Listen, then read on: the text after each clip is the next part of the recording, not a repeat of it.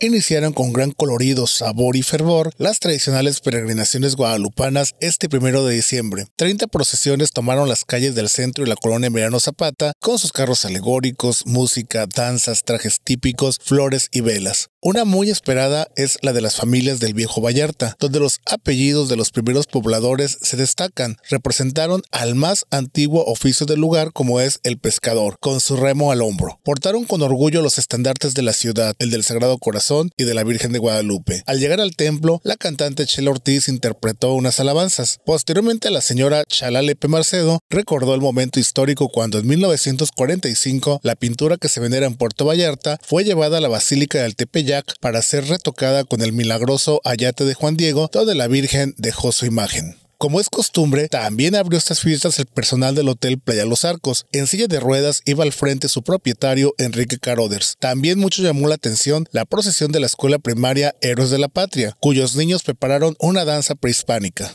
El grupo de Movimiento de Renovación Carismática Católica y la UNIVA participaron con gran ambiente, estos últimos acompañados por un grupo musical. También se hicieron presentes el Colegio de Abogados, el Hotel Pelícanos, Restaurante Rinconcito Poblano, entre otros, cerrando la noche el Hotel Vidanta, con un gran contingente y la representación de la aparición de la Virgen Morena en enorme carro alegórico. El olor a antojitos es muy agradable en el centro de la ciudad. Familias vallardenses ofrecen en este escenario sabrosos platillos mexicanos, así como frituras, elotes, cacahuates, tuba, café y otras delicias para el paladar, convirtiendo esta fiesta en un atractivo para todos los sentidos.